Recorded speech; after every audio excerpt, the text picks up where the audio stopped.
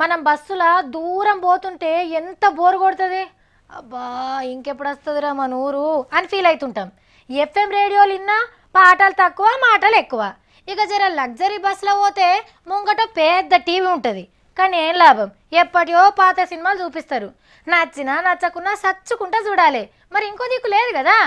కానీ ఇప్పుడు చూపియబోయే బస్సును చూపిస్తే సూపర్ కేక అని మీరు అనుడు గ్యారంటీ. చూస్తున్నారా? సీటుకో టీవీ అన్ని సీట్లకు ఉన్నాయి ఎవరికి ఏది చూడబుద్ధి అయితే అది చూడొచ్చు. అన్ని తెలుగు ఛానల్ వస్తాయట. ఆడోళ్ళు సీరియల్ చూడొచ్చు పోరగాన్లు పోగో ఛానల్ పెట్టుకోవచ్చు. పడుసు పోరగాన్లు క్రికెట్ చూడొచ్చు. రాత్రి తొమ్మిదిన్నర కాగానే తీన్మార్ వార్తలు చూడొచ్చు. మంచిగా ఉన్నది కదా సౌలతి? కాకుంటే ఇది మనతాన కాదు ఆంధ్రాల. అమరావతి అనే కొత్త బస్సులను బయటికి తీసిండ్రు ఇవాళ ఆగో ఆటికి సీటికో చిన్న టీవీని పిట్ చేపించిండు చంద్రల్ సారు.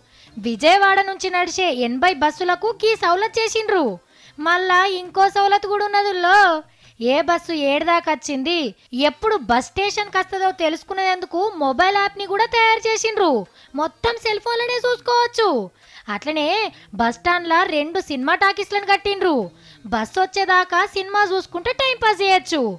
షాపింగ్ మాల్ లెక్కనే అన్ని దుకాణాలు కట్టిండ్రు మన తాన కూడా గిసొంటి సౌలతుంటే మంచిగుండు అని అనిపిస్తుంది కదా మన మంత్రి మహేందర్ రెడ్డి సార్ గీ వార్త చూస్తే ఇంతకు డబుల్ చేస్తుండొచ్చు.